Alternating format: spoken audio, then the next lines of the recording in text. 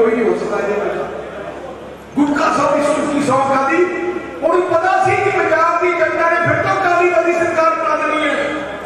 ਉਹਨਾਂ ਨੇ ਸਿਆ ਕਿ ਝੂਠ ਬੋਲੋ ਸੌ ਖਾਓ ਪਰਮਾਤਮਾ ਦੀ। ਲੋਕੀ ਮੰਨ ਜਾਣਗੇ ਤੇ ਉਹ ਉਹ ਕਾਮਯਾਬ ਹੋ ਗਿਆ। ਸੌ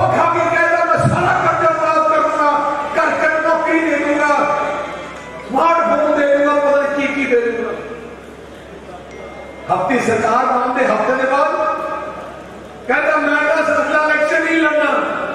और लोग पूछो, नहीं हो वो कहता मैं तो मुख्यमंत्री बन गया मेरे भी हूँ चली जाती है। मैं मैं जनरल क्यों रहा है। कांग्रेसी में पूछो तो जनरल कितने वो क्या कमरे में एसी के गया लंबा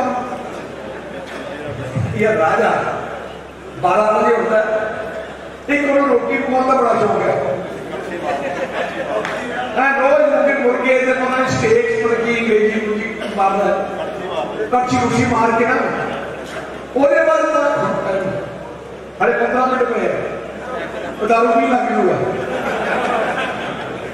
ਯਾਰ ਆ ਮੁੱਖ ਮੰਤਰੀ ਹੈ ਤੇ ਕਾਂਗਰਸੀ ਸੋਚਦੇ ਕਿ 13 ਦੇ 13 ਸੀਟਾਂ ਜਿੱਤਣਗੇ ਇਹਨਾਂ ਦੀ ਸਾਰੀ ਸ਼ਕਲ 13 ਦੇ 76 ਬਹਿਣਗੇ ਸਾਰੀ ਜਗ੍ਹਾ ਜਿੱਤ ਜਾਣਗੇ ਯਾਰ ਦੱਸਾਂ? ਯਾਰ ਬਾਦਲ ਸਾਹਿਬ ਨੇ ਕੰਮ ਐਵੇਂ ਕੀਤੇ, ਪਰ ਆਪਣੇ ਦੋ ਬਿਮਾਰੀਆਂ ਚ ਚਪੜ ਗਈਆਂ ਜਿਹਨਾਂ ਮੁੱਛਾਂ ਕਰਕੇ ਤਾਂ ਟੋਪੀ ਵਾਲੀ ਬਿਮਾਰੀ ਉਹ ਗੋਰਾ ਕਿੱਥੇ ਹੈ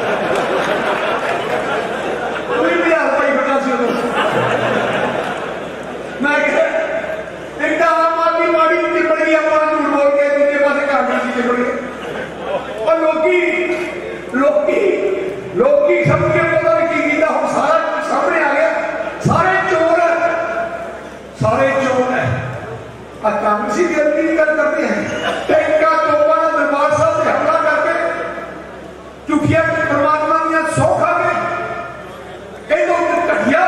कोई नहीं हो सकते। अपने श्रोमणी अकाली दल छोटी पार्टी है पार्टी